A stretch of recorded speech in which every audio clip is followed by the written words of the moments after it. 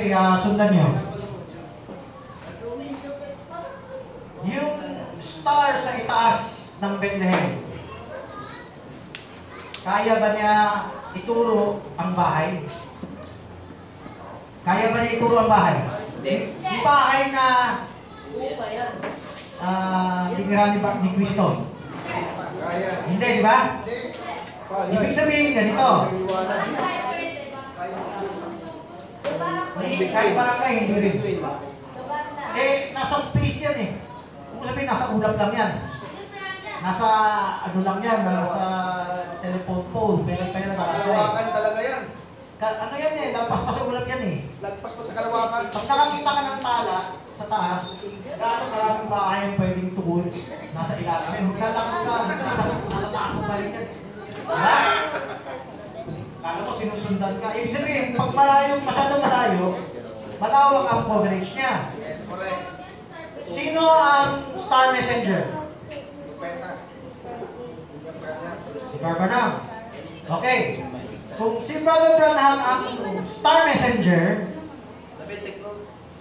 Ibig sabihin ng star messenger, star talaga na nakikita ng marami. So maraming kumilala kay Barbanam. Nakuha niya? Habang lumalalim ka, bigyan kita halimbawa, si Luther. Sinong kumilala kay Luther? Martin Luther. Marami. Lahat. Lahat kumilala. Siya ang star ng Reformation. Hindi morning star, ha? Siya yung star. Ibig star, siya yung unang nag-break. Yung mga ibang sumunod, hindi sila na una. Si Luther na una. Ngayon, abot pa ni Luther yung lalim ni Zwingli? Abot pa ni Luther yung lalim ni Calvin? Abot pa ni Luther yung lalim ni Knox? Marami pa iba. Hindi na. Ang mensahe ni Luther, basic. The just shall live by faith. Kung meron pa siyang ibang detalye, hindi niya malalampasan si Zwingli. Nagdebate pa si Zwingli at si Luther, nagkita sila. Sabi ni Zwingli, ang tinapay, simbolikal. Hindi yan literal na katawan ni Kristo. Tumangki si Luther. Ibig sabihin, hindi abot ni Luther ang sinishare ni Zwingli. Nasundan niya? Pero, sino ang kumikilala kay Zwingli? Yung Switzerland lang. Yes. Yung kung Re- Reformed Church ng Switzerland. Kung meron ng iba, mga Reformed din. Katulad ni Louis Simon. Kung nabuhay siya nun. Reformed Church. Ah, ano. Ngayon, so, hindi abot. Minsan, marinig mo, binibira pa ng Reformed si Luther, di ba? Kasi hindi na alam church ages. Ganito yun. Pag star messenger ka, hindi mo kaya dalhin yung tao sa mismong bahay ni Kristo. Hindi mo kaya dalhin ng wise men sa mismong bahay. Anong kailangan mangyari? Ano nangyari sa Matthew 2? Ano nangyari? Bumaba ang star. The star appeared to them again. Hanapin niyo yung verse. Matthew 2. May bata, tahanan. The star appeared again. So, yung star na bumaba, Tinuuna. para morning stars, no? Katulad ng tayo lahat morning stars. Hindi na yan sikat. Hindi, hindi na marami makakakita. Ibig sabihin, nung nasa Bethlehem siya, marami makakakita. Pero nung bumaba na, Nung bumaba na, ang nakakita lang, ilan na lang. wise men. Yun. Sundan niya. So, Grabe. no? alam mo, sinare ko to sa Yapo ba, o, no? Saan nakasulat sa quote yan? Hindi Ito, ito yung bibigay Hindi ngayon. Kailangan ba nakasulat sa quote bago mo paniwalaan? Hindi. Ibig sabihin na po, parang magkita ulit.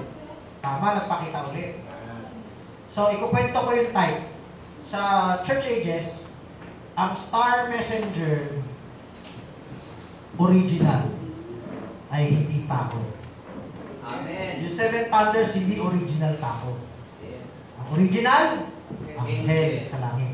Namatay ang tao, nagpatuloy yung anghel sa langit. Yes. So yung star na bumaba, yung anghel na bumaba, hindi na kay Barbanam. nasa fivefold.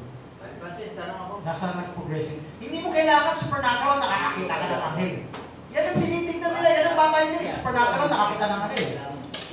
Tanong. Si Kibuloy, si, ewan ko si Carillo, no? pero halos lahat nun, sabi, tinawag sila, si- sila ba hinirang supernatural, eh, di ba? Oh. Okay. Teka, sino yung nagtaas ng kamay? Ako. Dali, lapit ka rito. Sa... Sabi mo na may anak ka Ayan, pwede na, pwede na. Ah, ang tanong ko doon, Injil ba yung original na yung Star. yung Injil yung original na Start. Oo. Ngayon, paano kung Angel sa, pa rin yun, sa bumaba. messenger, paano yung bumaba? Angel o anointing? Ulitin ko ha. Angel yung nasa taas, angel yung nasa ibaba. Kasi kung progressive ang unawa natin sa Seven Thunders, hindi siya original tao. Original anghel siya. Yes. Yung tao, ginamit lang ng anghel. Pag namatay ang tao, buhay pa yung anghel. Yes. At yung anghel, nagpapatuloy pa sa susunod na tinuruan ng tao. Naka... Pansin. Sa tao. Ah, Sa tao. Ay, gusto ko lang malinaw. Hindi lang kay Brandon, pati yung seven men sa rapture. Okay, okay. Malinaw. malinaw. Kung Injil yun, yung Injil, yun ang naging tao, ibig ba sabihin nun, yung Injil, na lumukod doon sa tao, anointing yung... Pareho, pareho. Yun So, ang ka nakita. Anointing, angel. Kaya nakatingin na sila sa pito. So, tuloy tayo. kasi sila nakatingin eh. So, mahalaga, hindi natin habol yung malawakang kasikatan. Kasi malawakang kasikatan, hindi mo kaya magdetalye. Yes. Tapos meron na, yung between ang yan. Ah. ngayon, pwede mo yung play kay Barbanam. So, nung buhay pa si Barbanam, siya yung kinasihan ng anghel na pangmalawakan. Pero sa detalye, ah, Tanong ko, lapit ka hindi, dito na, para ano. Okay lang ba doon? Gitna, gitna. Nakasabong po. Para sa kanya ako kay Pare George.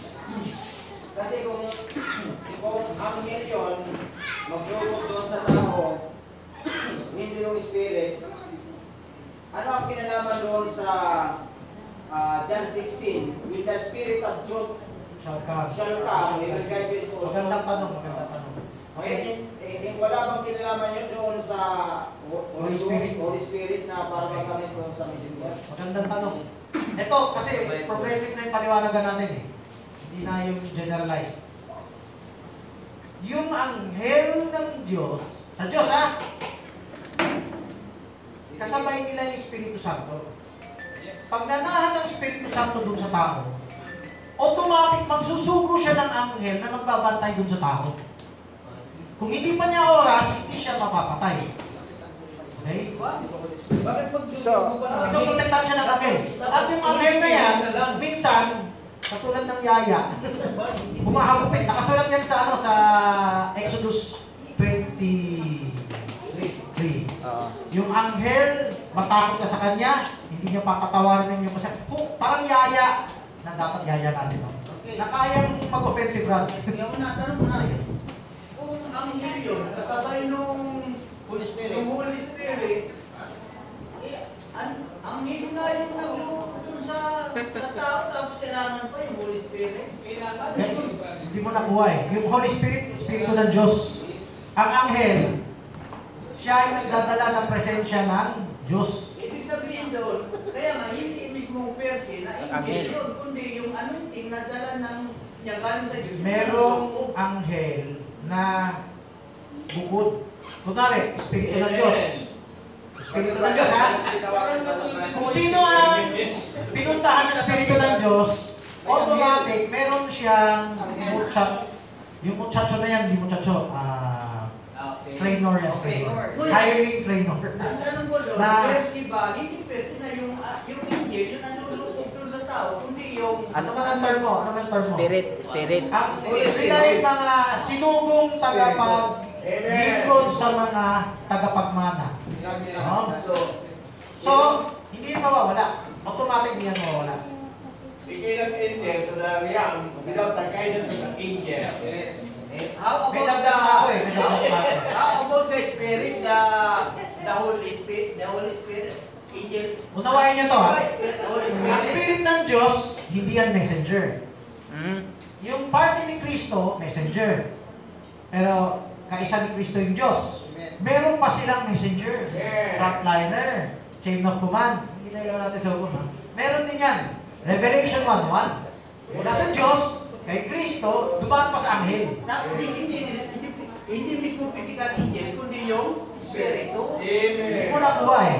Ay, May Espiritu ng Diyos. talaga. Pagbaba ng Espiritu ng Diyos, pag, pag selyo, alam mo kahit hindi pa selyado, minsan binabantayan din ng anghel. Yes. Oo. Tama yun. tama. Ito ba nga, eh, hindi pa nga selyado, nauna na yung mga anghel. Iniingatan din ng anghel yung mga ano. Hindi, pwede yung angel sa isang parte na suma, pag ano siya sa, binigyan siya ng, ano yung, ng kapang, na, ah, Toka, ginawa siyang utusan ng Diyos, na dalhin yung anointing doon sa kanyang, Tama, tama yan. oo. Tama Ah, si Daniel, ganyan nangyari, di ba? May sumong anghel eh. Hindi mismo, Ang Espiritu ng Diyos na kay Daniel. Pero may sugo pa ang anghel ang Diyos kay Daniel. Amen. Okay, tuloy na tayo. Tuloy na tayo. parang paikot-ikot eh. Ikaw may nagpaikot eh. Tapos na tayo dyan. Pambihira. Tuloy na tayo. Binta ng kaba. Tapos sa sandali lang yan, dami natin tatalakayin. Oh. Abante na tayo. Terminology. Huwag mo na muna hanggangan. Kailangan medyo, Mamaya tanungan mamaya. Alam niyo na ba paano ipaliwanag ang Revelation 10.7? Last week, Revelation 10 ang tinalakay ko. Pwede part 2 to, no? Alam niyo na ba, kaya niyo na ba ipaliwanag? Dapat free nyo rin sa mga exam sila. Yung Revelation 10.7, kaya niyo na ba ipakita biblically na hindi yan ultimate application tao? Yung ikapitong anghel, Tama naman yung ikapito. Hindi yan ako. yung ikapitong anghel, Hindi tao. Hindi tao. Kaya niyo na ba ipakita? Yes. Oh, pakita natin. Sige. Bilisan natin ha, kasi naturo ko na to dati. At kaya ako nagpatagalog, alam ko may English na ako dito. Pero ito, ewan ko meron. Hanapin mo. Dapat nadalaw. Araw-araw. Buksan nyo. Dalawang approach yan. Yung unang approach, basahin nyo. Oh, kailangan yung mga bata ha. Fruit na ha. Revelation, hanapin nyo Revelation 8. Tumuno ang, umihip ang unang anghel. Oh, yung mga bata utusan. Sister Jo, Revelation 8 yan eh. Sister. Micah, 8.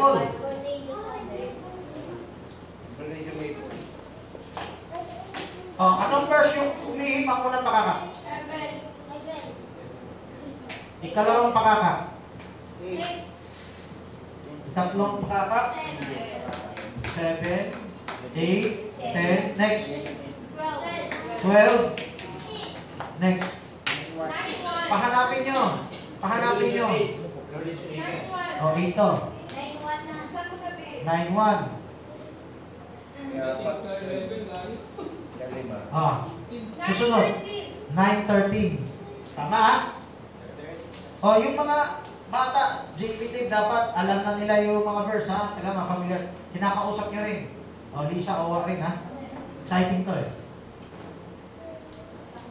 Pansinin nyo, dikit yung una, pangalawa, pangatlo, dikit. Yung pang-apat, pang-lima, pang-anim, lumalayo na. Nakita nyo sa Bible? Lumalayo na? Yes. Sabihin, malayong agwat? Malayong agwat kasi maraming nangyayari. Ang problema, yung tao, hindi nila napapansin yan.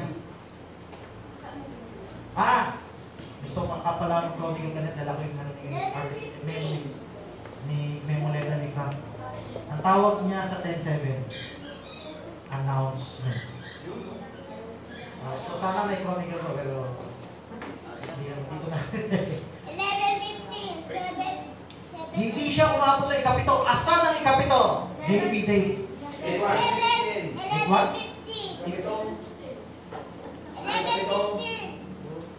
Ah, Pakaka, hindi, hindi sa inyo ha. Pakaka, pakakakantapin natin yan. Nasaan ang ikapitong pakaka? O, JP Dave, pasingin niyo sila, oh. Kung meron kayong pagkain, pa- i-prioritize niyo yung ano nila. Revelation Paghanap. 11.15. Oh, nakita mo sarili at tinuro sa'yo.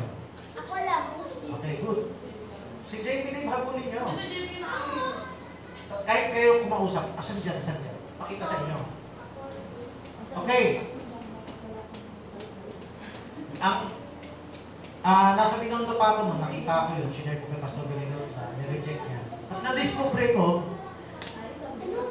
na, na-discover ko, tinuro pala ni Frank na may nahawakan ako memo letter niya. 1994 o 92? Ako 96 o 97 ko nakita. So, nauna siya sa, sa akin ng dalawang taon na ituro niya. Ngayon, pero yung approach pa niya dun sa memo letter na luma, hindi yan katulad dito. No? Ngayon gusto ko, and later, share, yung sinashare mo ngayon, sinare ni Bar Frank sa, sa convention, sa, kung nakapunta kayo sa Ramada. Midtown. 10-7 10-7 niya, hindi katulad ng mga hindi kawakan 8-7. Ang ten, ganito, ang ikapitong pakakap, napakalayo. Nasa 11.15. Nasa 11.15, ang ikapito, baba. Ay.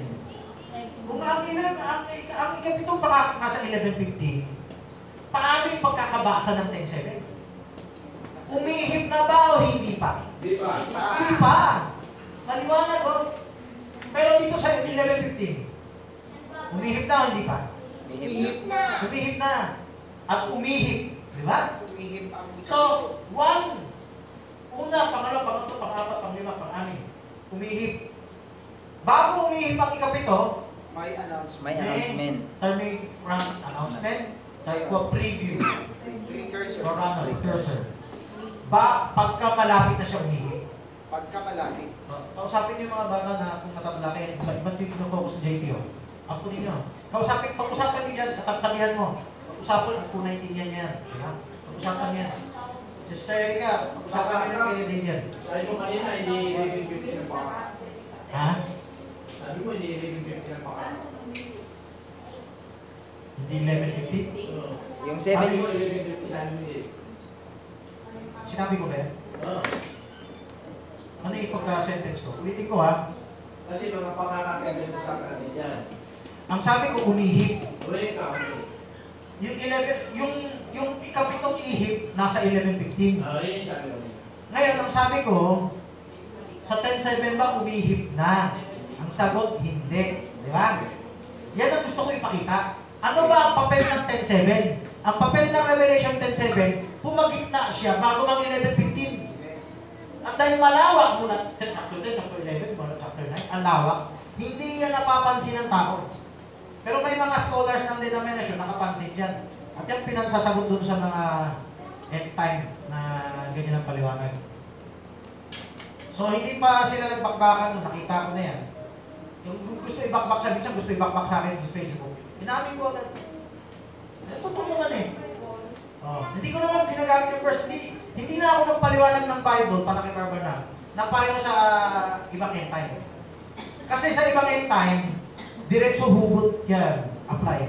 Saan mo ilalagay yung 10.7? Ang 10.7 nga, bago mag 11.15. Pagka malapit na siyang umihip, 10.7. Hindi pa may. 11.15. At umihip ang ikapitong anghel. 11.50 Yan. Gitna, gitna. ang Revelation 10.7, base doon sa, Tabi-tabi sa... sa interpretation ng ibang kind, ay yan ay si Barbanam at yan ay Archangel. Ibang end time? Oo. Hindi. Hindi yan si Angel na spiritual angel. Yung 10.7. 10.7 tinutukoy nila. Yung ibang end time tinatanong mo. Ang ibang end time, Di ba parang? Hindi. Kay Frank, no? Sagutin mo rin yung position mo. Yan ba ay Archangel o uh, Heaven Angel? Ilan- Yung 10.7? Oo. Okay, noon ko pa sinishare, naituro ko na, tinatanong ko kanina, at ngayon sasabihin ko ulit. Uh, sana yung may tiyaga yung nanonood ng video na isa-isa yung ebidensya, nagmamadali lang. Ubusin yung ebidensya. Ang original application ay katulad ng start yan, no? Ah, ano ni George? Sumali ba? Ay, ito yung. Yung nag ano, Limutan ko yung plan ni George. Lumukob. Sumani. Lumukog! Okay. Itong original angel dito ay angel sa harapan ng Diyos. Amen. Angel sa langit. Tatakaman niya yung thunders dito eh. Yung tinalakay kong thunders last week. Ang original thunders, yung nasa harapan ng luklukay. May mababasa ka sa Revelation na there were thunderings, lightnings, and voices. So yung original thunder sila, yung tao sa lupa na nag-thunder, yan ay nakatanggap lang. Ginamit lang ng makalangit na thunder. So si God, dati siyang ano, kung dati unawa ni God, ano, makalangit na angel yun. Pati si Ben Howard at ibang end time. Level 2, 3. Ngayon, yung seven thunders na anghel, nagbago si God. Di ba? Una si Jackson nagbago, nag- naging ano, naging tao sa rapture. Ah. Tapos si God, pag binasa mo yung binigay kong ano, pero may patotoo siya eh. Hindi nakalagay dyan eh. Kinikwento personal ni God sa akin. Nabasa ko, may voices yung thunders. Ito yung ginagamit ng lahat, kay kay Jackson, kayo Amos. yan. May voices ang angels. Kung may voices, tao yan! Sabi niya. Okay? Personal niya sinabi sa akin, nabasa ko rin. Ngayon, sagutin ko, yung anghel sa langit, wala bang voice? Meron. Meron. Eh, voice of God, no? Voice of the seventh angel. Ngayon, si Pearl Barnum, pwede mo ipasok Isa siya doon. directly sa voice. Ah. Pero hindi mo siya pwede ipasok sa Angel. sound. Ibahin nyo yung sound. Ah. Sa end time, Pinagsama. sound at voice, pareho lang. Pinagsama. Oo, yun na rin yun. Eh. Sabi na rin sa Quiapo, yun na rin yun. Okay. Buong end time siguro, maribang Efram. Ngayon, basahin niyo mabuti. Uh, di- hindi na tayo mag-evidensya doon sa talata. But in the days. basahin niyo mabuti, pabasa niyo mga bata ngayon. Basahin niyo yung 10.7 mabuti. Tanungin niyo mga bata, bulong, dapat katabi niyo bulong, kabulong sharing niyo. Yung bulong sharing parang dito mo yung 6.7 na rin. Kahit nandito si Erika, na nasa likod ka, ma, na malapit ka. Si- Katabi niyo, ka-sharing niyo. Oh, Umihip na, hindi pa. Pero may tinig na ba o wala pa? May tinig na ba, wala pa? Meron. Meron na. But in the May ihip na, wala pa? Wala pa. Yun ang hindi napapansin. Grammar na lang to. Sir, tinututulan ako. May video ka ba doon sa Gallego? Yung, yung 10.7 na tumayo. Ito yung English teacher ko eh. Doon sa Lindsay na yan. Nak- Tapos, ah, mali. ano lang yan eh. So, ito, unawain natin ha. Sa araw ng tinig ng ikapitong anghel, may tinig na, wala pa. Wala pa. Sa mga araw, mga araw, marami. Mga araw ng tinig, may tinig na ba? Wala pa. Wala pa. Pagka mala, bakit wala pa? But in the days. Ibig sabihin hindi yan. Sa mga araw. Oh, sa mga araw. Hindi presente. Hindi presente na may lumabas yung tinig eh. Hindi pa lumabas yung tinig. May voice pero hindi totally ito yung present na voice na pag-utter. Sa araw ng tinig eh. Parang ang Hindi ko tinatanong yung reference to us. Ang tinatanong ko, sa mga araw na yan, sa loob ng mga araw na yan, may tinig na ba? Meron na lang. mayroon sa ibang Meron. araw. Siyempre, end time meron din. Tanggap nila yan. Okay? Pagka malapit na siyang umihip, umihip na hindi pa. Hindi pa. Yung common sense, ito, sindan tingnan niyo to ha. Pagka malapit. Ito ang tinig. Ito na yung araw ng mga, mga araw ng tinig. Sa mga araw ng tinig, umihip na hindi pa. Pagka malapit pa lang. So pagka malapit na siyang umihip, o ito yung ihip, malapit na, malapit na, malapit na, papunta na rito. Ano raw mangyayari? Tapos na. Tapos, Hindi tapos, hindi tapos na. Future tense din. The mystery. Matatapos na. The mystery of God shall be. Ah, should be. Should be. ma- napapansin mo rito, ang katapusan ng hiwaga, Maaring matapos. future perfect tense, ang ihip, future pa- Future ihip, pag malapit ang ihip, Saka pa matatapos na. Ano ibig sabihin? Pag umihip, tapos na.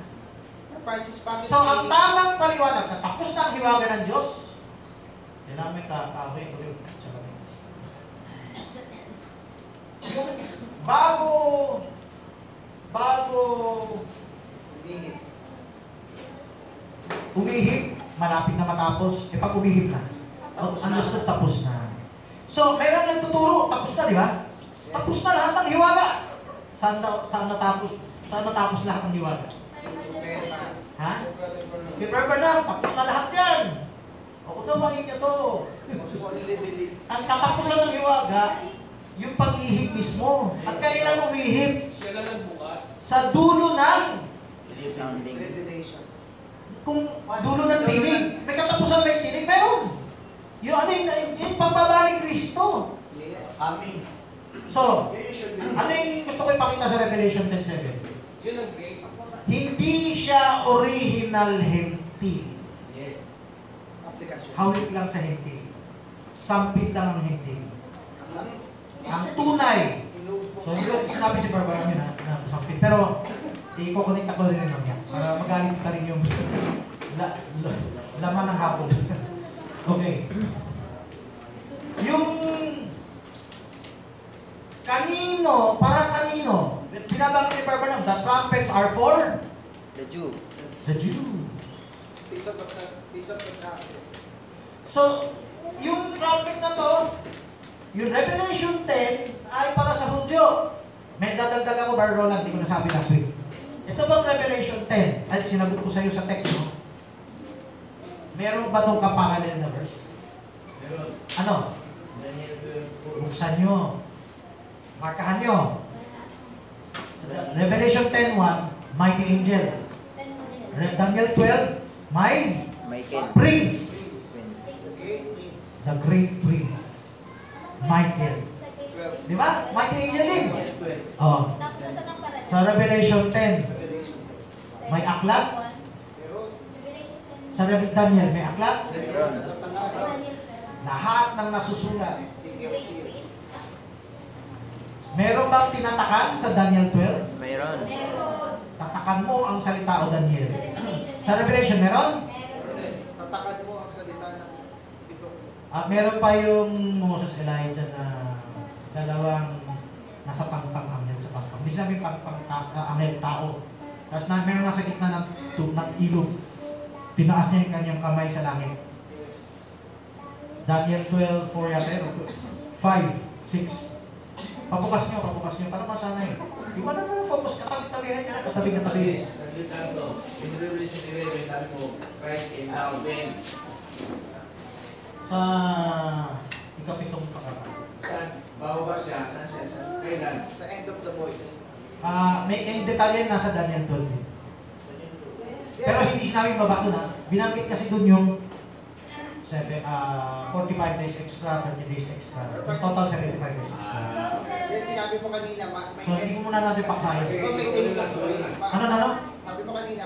Lapit ka na rito, lapit ka rito. Pahawak mo muna kay tatay yan para hindi matulog.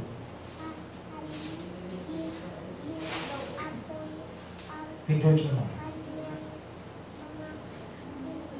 na. Masalita ka na, sige. Pwede na yan.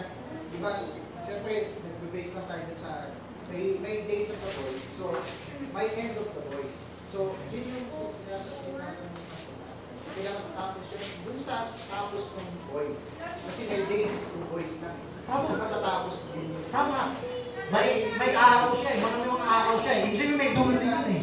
Ibig sabihin, after nun, one din na araw ng boys. Tapos na. At yan ay kung pagka malapit na umihip. Ah, pag umihip na mismo. Kasi pag malapit na, matatapos pala. Pag umihip na, tapos na.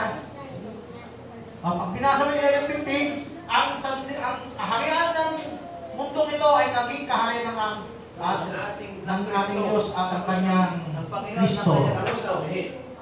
Oo, pagka umihip. Kaya nga, sa kanila tapos na umihip eh. Kaya talagang tinapos lahat ng Barbara. Espiritu yan, kala mo?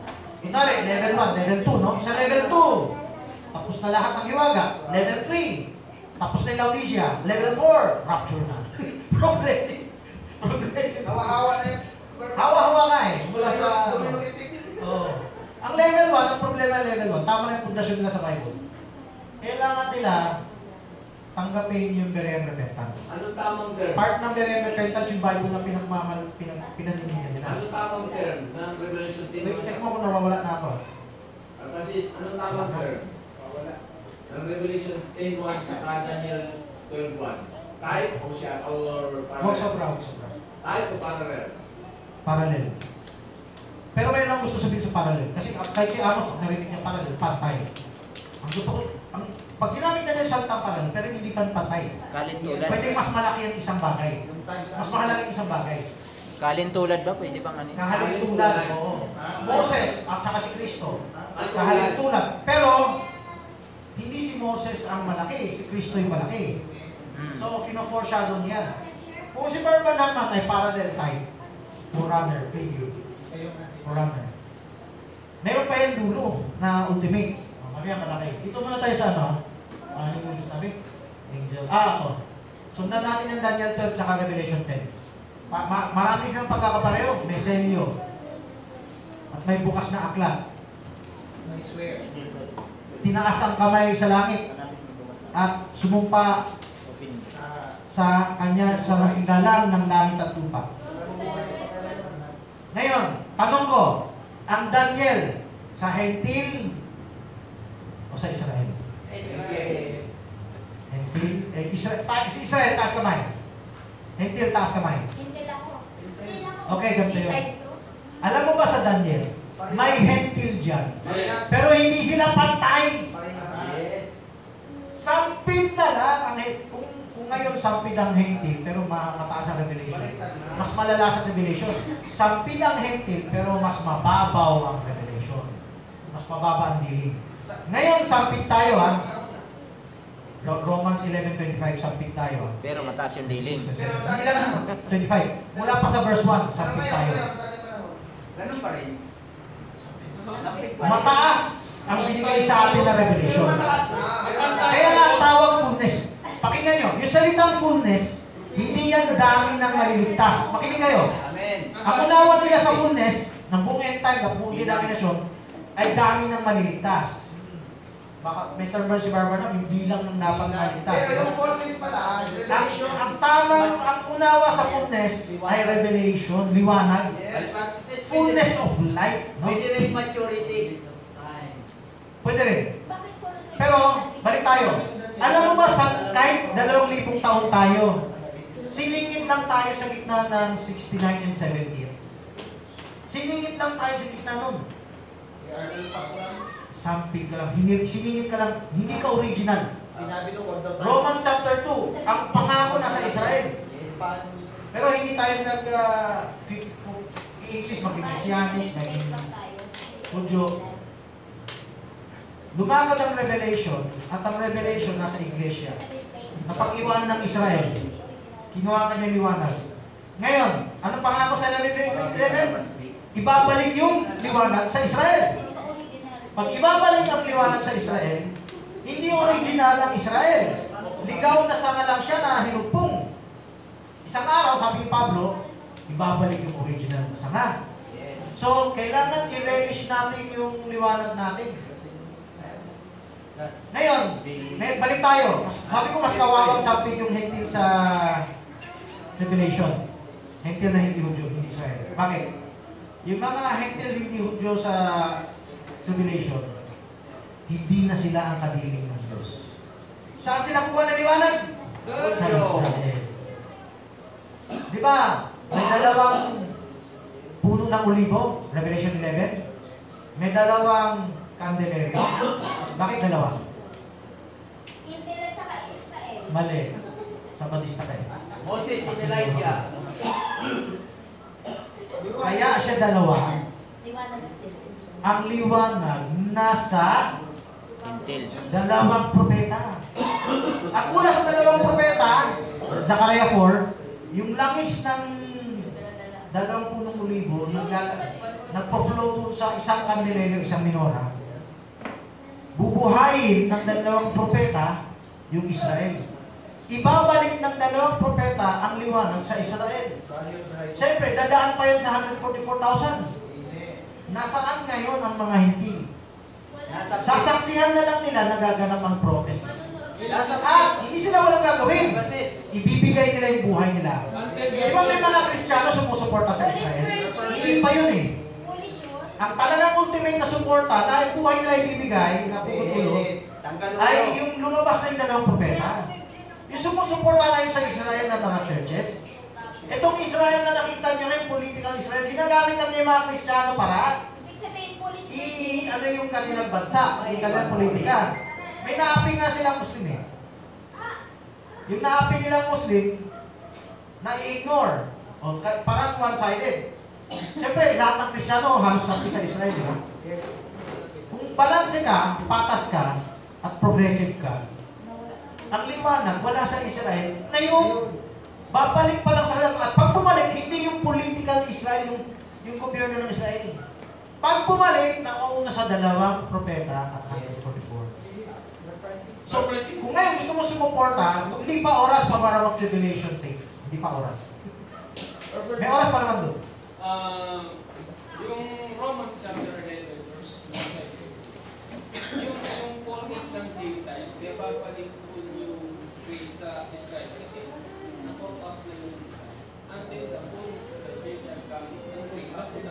Tama, tama. Yung full na dyan. Maraming application yan. So, tuloy tayo. It doesn't mean bilang na maligtas. Kasi may maliligtas pa ang hentil sa tribulation. Hentil na hindi Israel. Foolish virgin nga. At may maliligtas din may shipa eh. Ship nation. May maligtas pa sa millennium. So, Police. hindi yan bilang, yung fullness, hindi yan bilang ng maliligtas. Yan ay liwanag. Yung fullness ng liwanag. Hindi fullness ng bilang. Hindi talagang tumpak na application. Oh, na application. Okay. Ah, itong Revelation 10 ay originally Hentil Udyo. Hudyo. Original ang Revelation 10 Israel. Israel yan. Eh, tanong, Kami. Nakalagay. di ba, sinena natin to last week, summarize. Ang Revelation 10, hindi lang 1963. Ang Revelation 10, yung unang pagparito ni Kristo sa Israel at pangalawang pagparito ni Kristo sa Israel.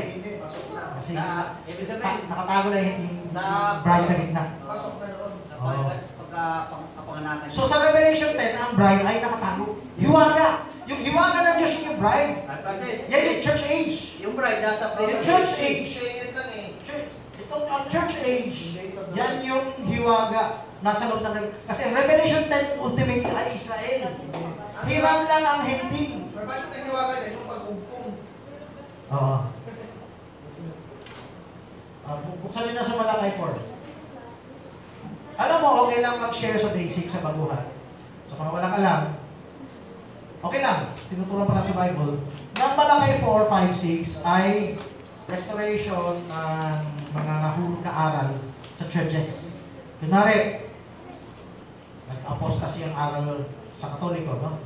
Tapos nagkaroon restoration sa Protestante ng end time. Okay lang yan sa baguhan. Paano kung aral sa Bible School? Pwede nyo ba ayusin na paliwanag nyo para yung kahit yung baguhan, eh maganda na yung latag. Ano? Ipapakilala ko si Barbanam, pero tulad ng hentil na siningit lang, hentil na sampit lang. Hindi siya original na pinatutungkulan dito.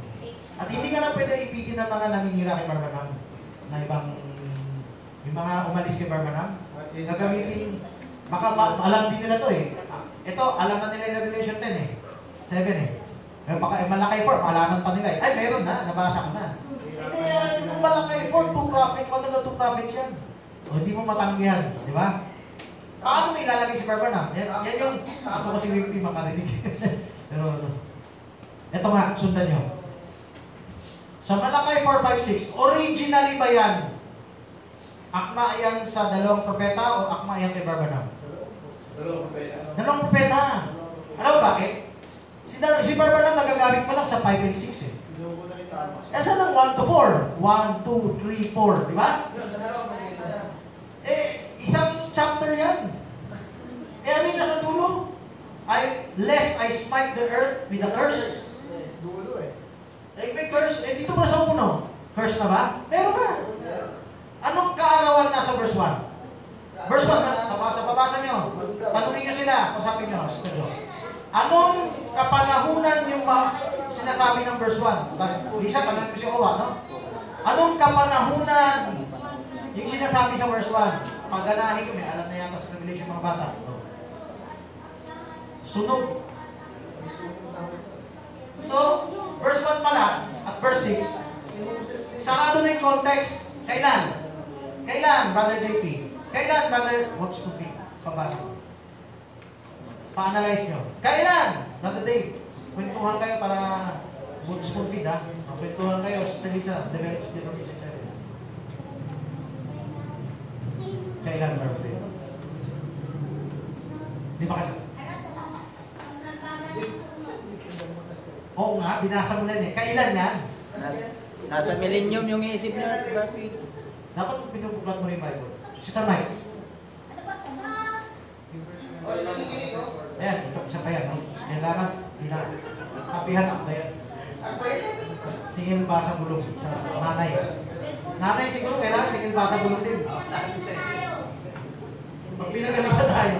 Or Freddy, kailan yan? Verse 1. Baka sa spoon feed mo.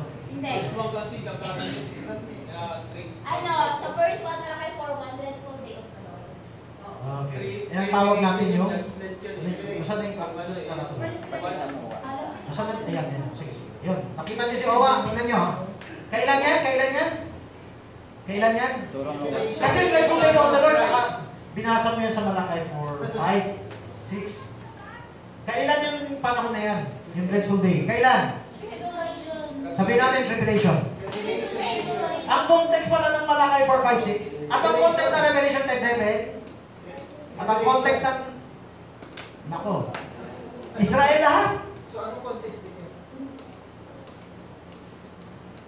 Ito pwede ka mag-church-church. Kasi wala namang... Eh, ito, Bethlehem ng...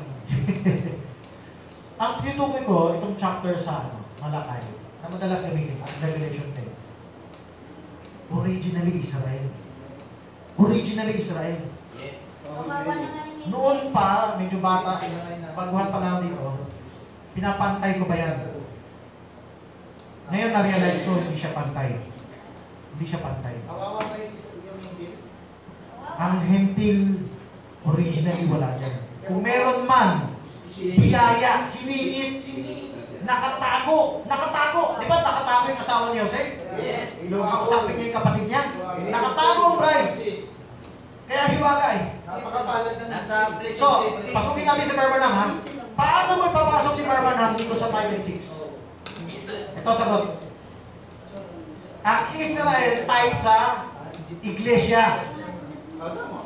At kung paano Israel ay tumalikod, nahulog, ang iglesia ay tumalikod, nahulog. Ang Israel ba ibabalik sa dati?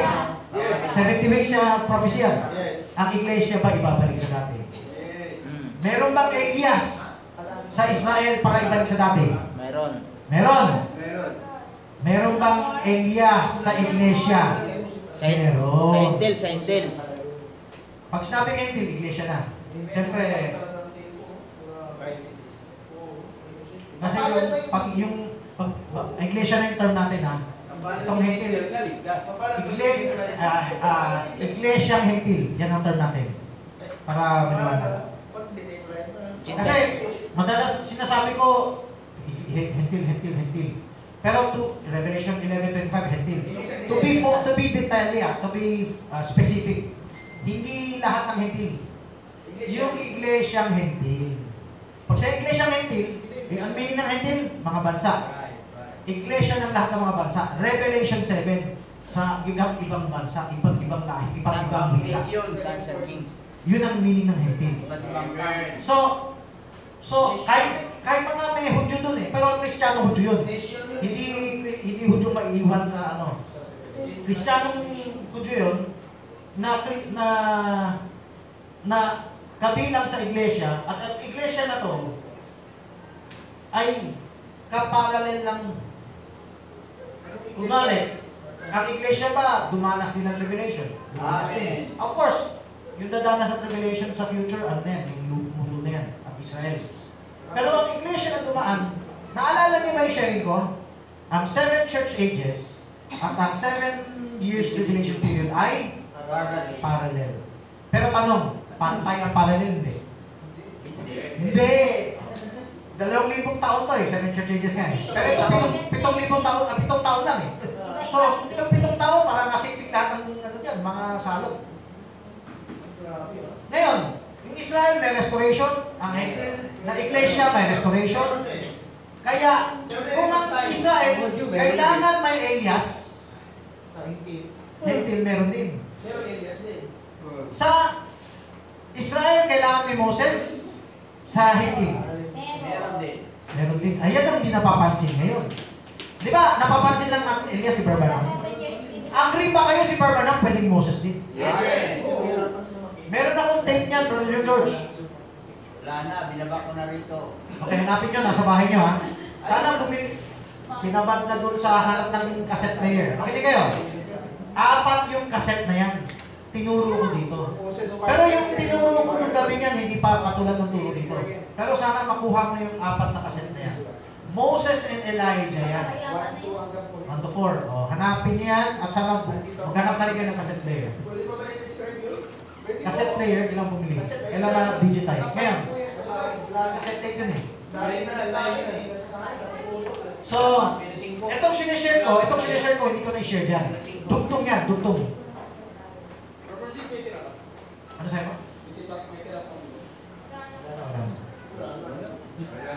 Teka, nalimutan ko sasabihin kayo, 1.34. Okay, sundan natin ha. Originally, ang Malakay 4 at Revelation 10, Israel. Ang Hentil ay singit sa loob. Ito, naalala ko na yung sasabihin ko. May Elias sa Israel. May Elias sa Iglesyang Hentil. Deka, specify ko na yung hindi. Pag hindi mo sinabi, hindi kahit yung mga unbeliever, di ba? Yung- Iglesyang hindi lang tinutukoy. Revelation, Romans 11.25, iglesyang hindi din yun eh. Lahat na tinutukoy mo sa tang hindi ito, iglesia tinutukoy ko. Iglesia na tang, pangiti ko. Yung woman, di ba may woman Israel, may woman iglesia? Yes. Oh. May parallel. Si Barbanam, nabanggit niya yung dalawa.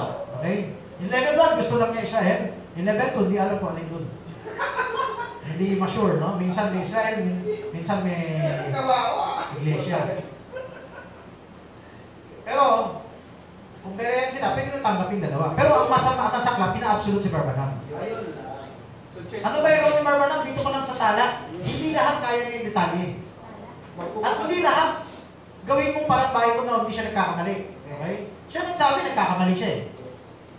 Pero, ano yung batayan mo para salain mo ang biblical at hindi biblical? Ay, basta sinabi niya, doesn't the Lord.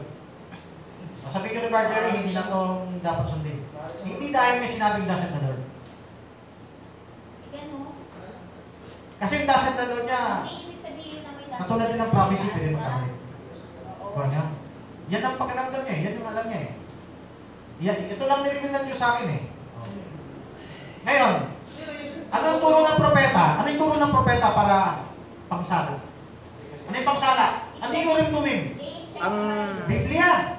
Ibig sabihin, pagsasalungan sa Biblia, huwag mo na tanggapin. Mm. Check mo. Oh. Ibig sabihin, hang ka. Oh. Hindi dahil sinabi, tapos na, memorize, spoon na feed. hindi na kailangan check mo. Yan ang nangyari. Oh, doesn't the Lord, kaya ano? Pero, Pero alam mo ba yung doesn't the Lord kasama si Billy Paul, hindi siya tatanda. Makikita na yung shark sa Oh. Sinabi So yung salitang doesn't the Lord, actually, nagagamit, makinig kayo, yan ang pagsa, yan yung hangin para masala yung hindi sumusunod sa Bible. Yung hindi sumusunod sa instruction, tao ang nasusunod nila. Kasi, pwede nga bigay ng Diyos yan eh. Yes. 1 Kings 13. Pwede, yung Diyos ang nag-anoint na propeta, yan ang sabihin niya, pero ang purpose niya, para yung tao na hindi sumunod sa kanya, maligaw. Alam mo ba, meron yan? Meron sa Bible. May nagtaas na kamay. so, May sinabi si Brian na thus say the Lord, the Russia will attack or Marami, marami. Kaya nga binabakbakan siya, nung nga parang Pentecostal na supernatural ang binabatayan. Hindi, Hindi nga supernatural dapat yung batayan eh. Doon sa Quiapo, sabi ko, meron naman Pentecostal na gagawin gawa niya. Tumayo yung isang apostol, sabi. Oh, sino yung nakabuhay ng patay? Sino ba yung nakapagaling na isang dal, bigay ang container ng mga saklay? Sabihin mo sa akin. Tapos gusto niyo i-challenge, si Barbarnam lang, yung pinakamatindi ang milagro. Eh gusto ko na paliwanag, hindi yung pinapakinggan, dito ko na ipaliwanag. Kung, nakik kung meron bere makikinig mo. Si Barbarnam, ayaw niya na ang susundin mo yung milagro. Yes. Kaya lang binigay na Diyos yung milagro, May sinabi ba siya? pa, Sinabi niya. Oo, sinabi niya. Sinabi niya. Siyempre, hindi lang magaling mag-quote, pero hanapin niya. Binibira ni Barbanam yung mga Pentecostal na yan ang hapon. Yung mga... Yan ang first pool, second pool eh. So yung, yung apostol, yung apostol nagsabi sa akin na walang nakagawa ng ginawa ni Barbanam. Laman ng sinusunod mo. Ganun na rin sa salita ni Barbanam. Pag doesn't the Lord, Pero ba't sila taas na yung tao eh? eh sinabi sa Bible, di ba? Kahit galing sa Diyos, whether there be prophecies, They shall- they shall fail. Bulaan pa si Barbanam dahil nag-fail? Hindi. Meron na tayong, merong lisensya mag-fail yung mga supernatural, supernatural ah, prophecies. Iba yung prophecy na word inspired. Iba yung prophecy na nireveal lang sa'yo, special prophecy is here. Lilipas yun. Sinabi ng Bible, ibig sabihin, porke hindi nangyari yan, hindi dapat maging bulangan. Mali ang batayan nila sa tunay na propeta. Kahit siguro si Barbie, baka tingin niya sa propeta, hindi nagkakamali. Ayan, perfect ako ng mga ano. Kamali ba si Moses? Nagkakamali! Kamali ba Siya sabi, ituktok mo ang ginawa niya. Ipukpok mo! So, sabihin, Binago, di ba? Kasi laman. Lahat ng propeta sa Pero, di Pinahintulutan ng Diyos din.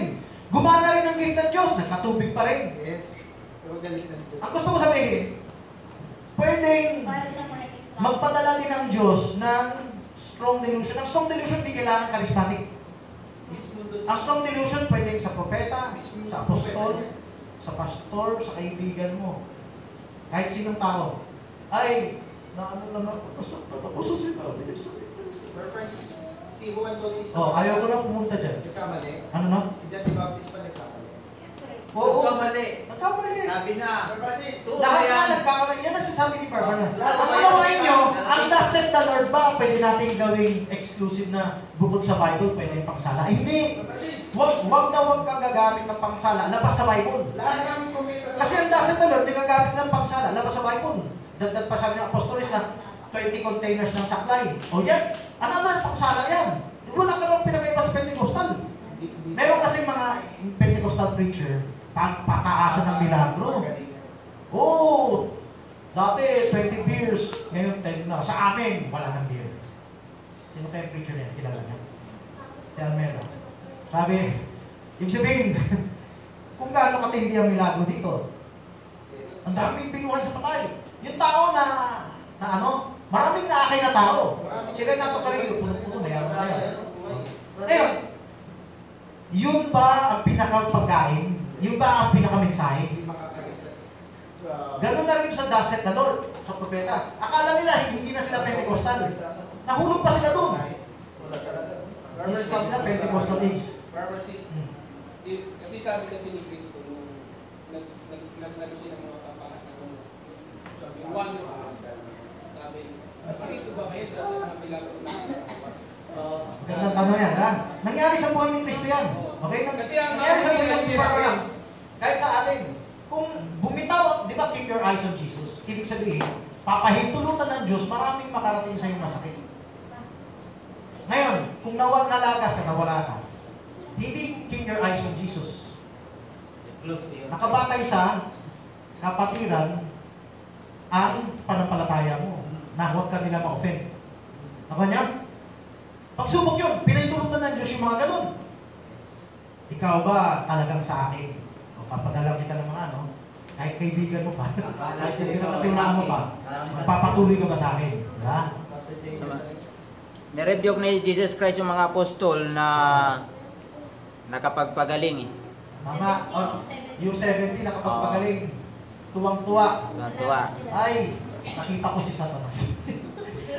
Si Satanas pala dati, matagumpay, ginagamit ng Diyos, pero naiba ang focus. Na. Balik tayo sa dito. Itong Malakay 4 at Revelation 10, binuksan ng propeta to para lakaran natin. Itong pinapasok natin ngayon, ito na yung pinasok ni Joshua na hindi mapasok ni Moses. Di ba hindi pinapasok si Moses? Hindi. Si Joshua at Caleb nakapasok. So, Itong ngayon, Melchizedek kanina, itong Revelation 10.7, Malakay 4.5.6. Ito, next level na to sa unawa. Ngayon, of course, gusto ko introduce, meron pa tayong revelation sa pamilya, sa mga dapat gawin. Maraming talata sa Bible, general, pero paano mo i-detalye? Paano mo i-apply yung pamalo ay nakaligtas sa impyerno? Spoken word yun. Ang, kasi alam nila spoken word, yun sa propeta lang na star, messenger. Pero alam mo ba tayo may spoken word? Kasi nakasulat sa Bible, ililigtas mo siya sa impyerno. Hanggang doon lang. Pinalo mo, hahampasin mo siya, ililigtas mo taluluan niya sa impyerno, palalayasin mo yung kamamakan sa kanya. Paano natupad yan? Direct sa ba? Ayaw, ay, huwag ka na magpaliwanag. Huwag ka na magdetalye. Ah, Sige, hampasin natin ang anak ko ha. Ligtas na to. Diretso ha, o matalino ka na, pinalo na kita eh.